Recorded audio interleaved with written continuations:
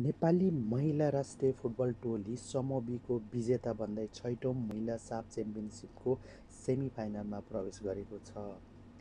समूहको अन्तिम खेल श्रीलङ्कालाई छ जिरोले पराजित गर्दै नेपाल अन्तिम चारमा प्रवेश गरेको हो। नेपालको जितमा भुटान पनि समूह विजेता बन्दै सेमिफाइनल पुगेको छ। दुई खेलमै हार बिहेरेको श्रीलङ्का समूह चरणबाट बाहिरिएको छ। सोमबार दशरथ रङ्गशालामा नेपालका लागि अमिषा कार्कीले दुई रश्मि कुमारी घिसिङ एक सरू लिम्बू एक अमृता जैसी एक दिपा साई एक गोल गरे।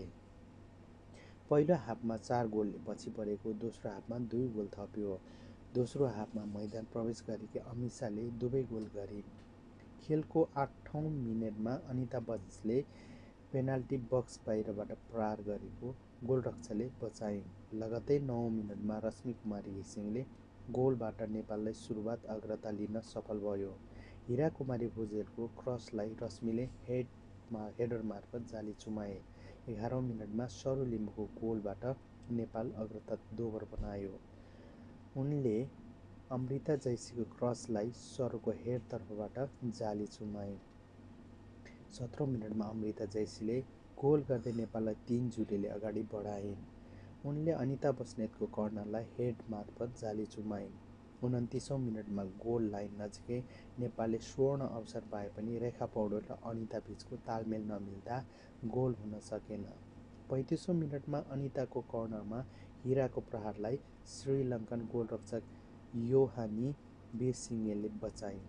लगतै श्रीलङ्काली डिफेन्डरको क्लियरेन्स टप कर्नरमा लागेर फर्कदा नेपालले थप अग्रता बढाउन सकेन। उन्चालिसौँ मिनटमा अनिता बस्नेतको फ्री किकलाई गोलरक्षकले नियन्त्रण लिए। बयालिसौँ मिनटमा श्रीलङ्काले पहिलो आक्रमण बुन्दा नेपाली टोली गोलरक्षक र कप कप्तान एन्जिला तुम्बा हाम्बे सुब्बालाई कुनै खराब भएन। इन्जुरी समयको थप तेस्रो मिनटमा दिपा साईले गोल गर्दै नेपाललाई पहिलो हाफमा चार जिरोले अग्रता दिलाइन् दिपाले गोलरक्षकको डिफेन्सलाई क्लियर गर्न नसकेको बललाई पहिलो बारमा गोल गर्न सफल भइन् उनले राष्ट्रिय टोलीका लागि पहिलो गोल गर्न सफल भइन् त्यसै साफ च्याम्पियनसिपका लागि टोली परे टोलीमा परेकी दिपाले पनि भुटान विरुद्ध खेलमा सिनियर टोलीमा डेब्यु गरेकी थिइन् पैँतिसौँ मिनटमा दिपा साईले बक्स बाहिरबाट प्रहार गरेको क्रसबाट बाहिर थोरै बाहिरियो। त्रिसठौँ मिनटमा सरू लिम्बूको क्रसमा अनिता बस्नेतको प्रहारलाई बार च्याप्दै बाहिरियो।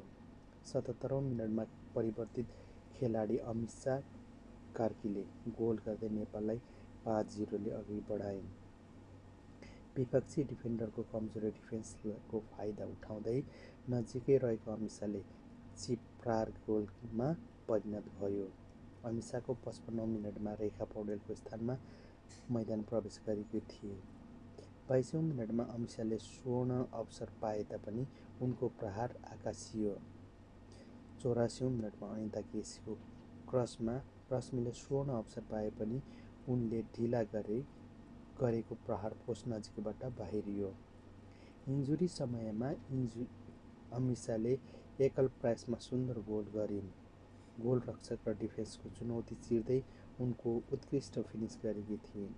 समूह बीमा नेपालले दुई खेलमा छ अङ्क जोड्यो। भुटानले तिन अङ्क र श्रीलङ्का अङ्कविहीन बन्यो। नेपालले यसअघि पहिले भुटानलाई चार जिरो र भुटानले श्रीलङ्कालाई पाँच जिरोले हराएको थियो।